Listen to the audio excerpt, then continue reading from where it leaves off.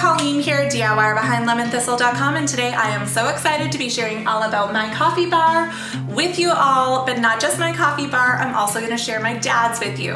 We have the exact same systems, we've set it up a tiny bit differently, and we both have different styles. So I thought that it would be fun to see the same style of coffee bar, but in two different homes, maybe to help you imagine what a coffee bar could look like in your home. Before we get into it, if you have not yet subscribed to my channel, I would so love if you did that below so you don't miss out on any more DIY or home decor videos. As always, you can also hit the bell to be notified about new videos on my channel. All right, so my coffee bar isn't necessarily a separate bar. It is just a small part of the kitchen that we use for our coffee machine and had specifically planned this space when we were designing the kitchen.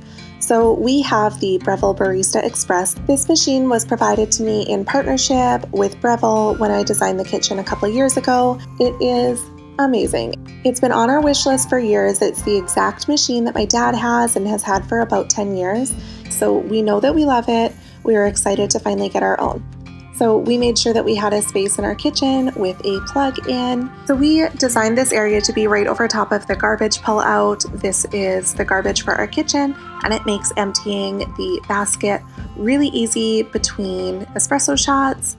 We also wanted it to be nearby the sink, but not blocking one of the windows. So adding this extra little space here in the kitchen made sense. Originally, the kitchen was going to kind of only go to the bay window area, but we continued it along this wall for a little ways just to make room for this espresso machine and the garbage pullout here. Now, while the espresso machine can do all the parts itself, you can grind the espresso here, pull your espresso shot, and then you can also add hot water or steam milk here.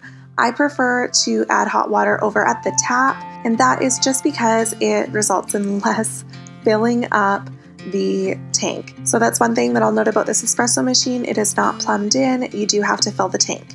But that makes it really easy. You can bring it anywhere. So when we go on vacation for a week, we haul this thing with us. Okay, so over at the tap, we have this hot water tap.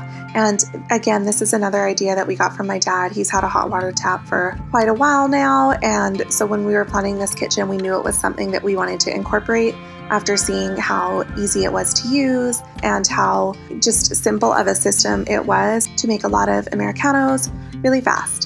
I don't typically make lattes, I save that for a treat every once in a while. We typically make Americanos, which is just a double espresso shot, and then we fill the remainder of the mug with hot water.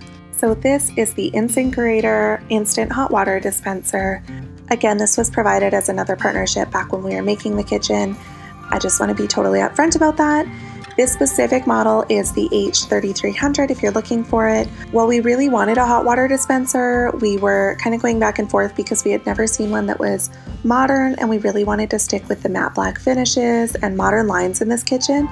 So I was really excited when we were able to find one that is so beautiful. So those are the big pieces. The other thing that we do have here is this black mat. This is a tamping mat. It's just a rubber pad and you can put it in front of your espresso machine to put the portafilter on when you are tamping your espresso.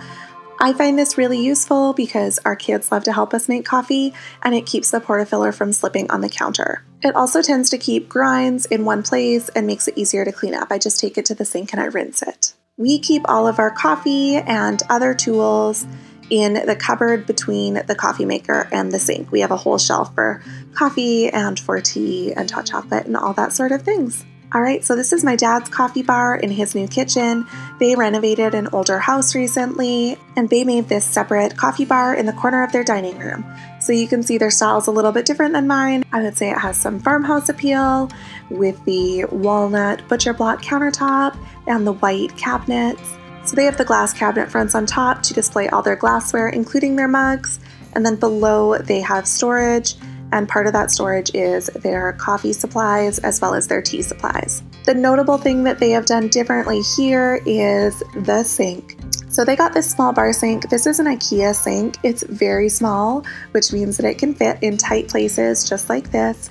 They've turned it on its side. It's normally meant to go along the countertop, but this works so perfectly for this purpose.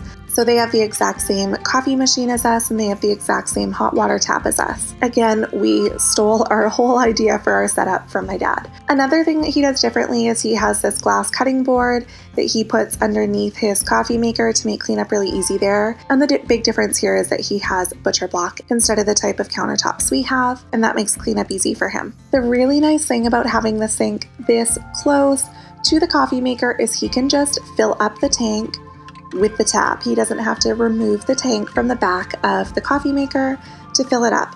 Since he has upper cabinets here, that makes it really easy. If you had to pull the coffee maker out in front of the upper cabinets to remove the tank, that's just one more step. All right, so that is pretty much all about the setup. I did get a couple questions on Instagram about the coffee bars, so I thought that I'd answer those here as well. The first question is Is it worth it? And we put off getting espresso machine for years. We've wanted one for a long time, but we would replace it in a heartbeat. It is absolutely worth it for us.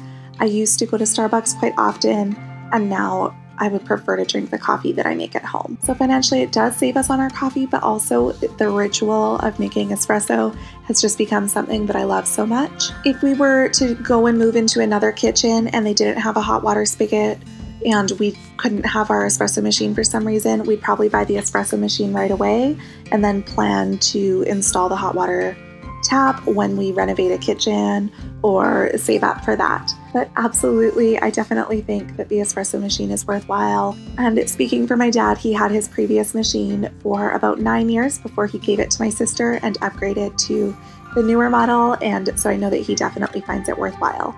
He put the hot water tap in his last house, and when they moved into this house and renovated it last year, they did the same thing here. The other question that I got is what beans do we use? So Shane and I use the espresso beans from Costco. They are the Kirkland brand. We find that they work really well in our machine. We love the flavor. That bag of coffee is actually roasted by Starbucks. So if you do like Starbucks coffee, that's a good one to try. It's much more affordable than other Starbucks beans.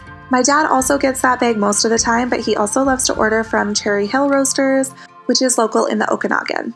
All right, so that is all about both of our coffee bars. I hope that you enjoyed seeing two of the same setups in different homes. And if you have any questions, feel free to ask them below and I'll try my best to answer. Thank you so much for watching. I hope that you enjoyed this video. If you did, make sure to give it a thumbs up and subscribe so you don't miss out on any more DIY or home decor videos.